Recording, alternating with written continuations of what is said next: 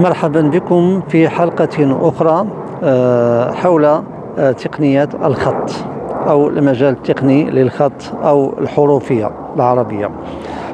كما سبقت الإشارة بأن المجال التقني هو مهم جدا في مجال الخط والحروفية وسبقت الإشارة كذلك إلى أن النقاد آه، يجب أن يكونوا ممارسين لمجال الخط وللحروفية لكي تكون نقداتهم مفيدة آه، في تحليل آه، الأعمال الخطية والحروفية وأن آه، يكون لها تأثير على المبدعين. لذلك فالمجال التقني له أهمية كبرى يجب أخذها بعين الاعتبار.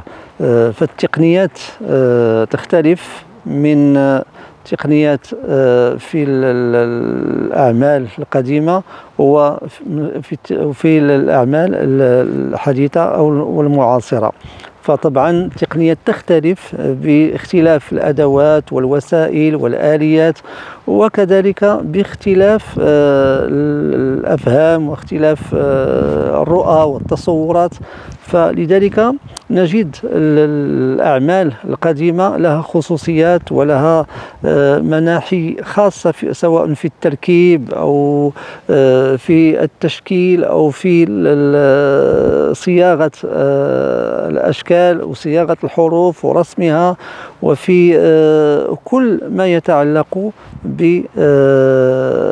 بالمسالك الجمالية والفنية لهذه الأعمال.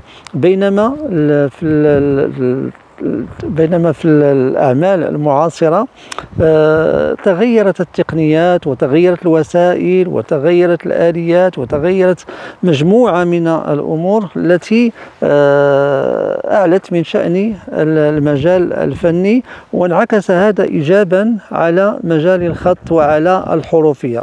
فالمختلف الاستعمالات التي آه، تطال المجال الخطي والحروفي من وسائل فهناك أمدة وهناك أحبار وهناك أصباغ وهناك عدد من الوسائل قطعات الأقلام الأقلام النحاسية الأقلام كذا إلى آخره. فهناك عدد من الوسائل التي أسهمت في تشكيل مجال تقني معاصر مخالف للنمط القديم وهو ما أعطى للوحات آه، نفسا جديدا ورونقا آه، آخر ينضاف إلى طبعا سلسلة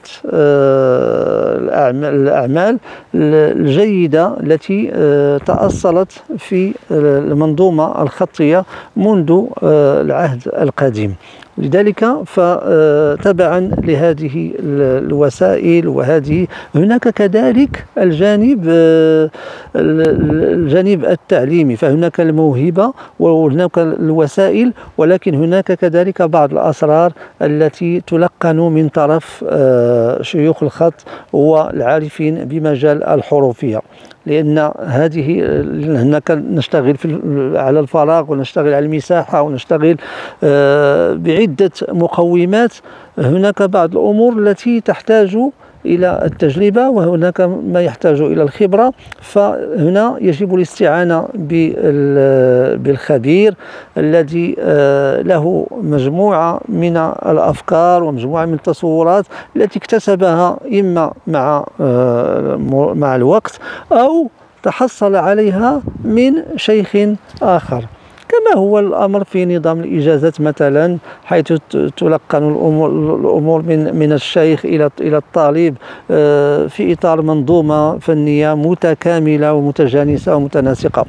آه، كذلك الشأن بالنسبة للوحات الخطية وللحروفية العربية لابد من معرفة بعض الأسرار من من الخبراء بهذا المجال. إذا إلى هنا نكتفي بهذا القدر وموعدنا مع آه، طرائف الخط في حلقات قادمة بحول الله. لا تنسى الاشتراك في القناة ووضع علامة لايك وتفعيل الجرس ليصلك كل جديد أخابير